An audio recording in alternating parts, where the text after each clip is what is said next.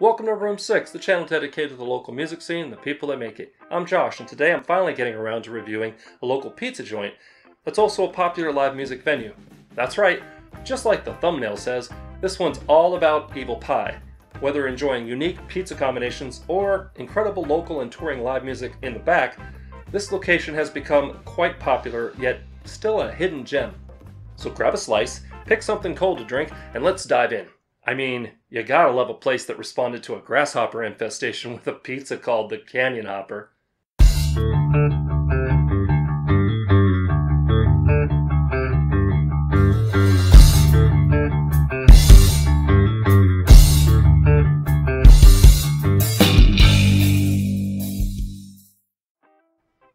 Just to be clear, the grasshoppers for that pizza were sourced from Oaxaca, Mexico, not picked up off the street.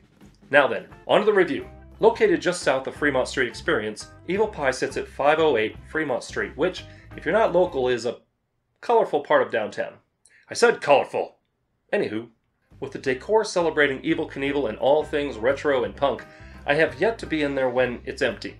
Tourists and locals alike have turned it into a destination spot for pizza, but their menu also features some pizza joint staples, such as garlic knots and wings.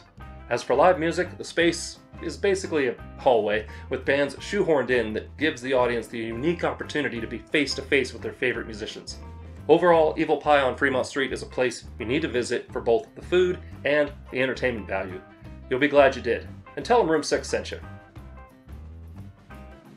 Thanks for watching. I hope that you'll swing by Evel Pie try one of their many different types of pizzas, and uh, yeah, tell them I sent you.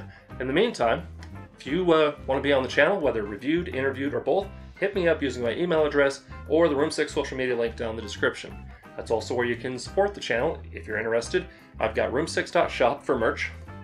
I've also got Patreon page with patron-only content, and I have a couple CDs that, you know, I put out.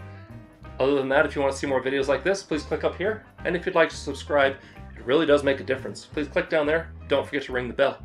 Remember to be amazing, and we'll see you next time on Room 6.